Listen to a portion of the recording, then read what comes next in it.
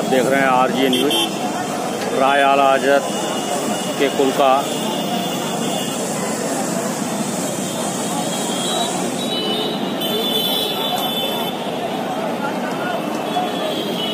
बरेली में राय आला हज़रत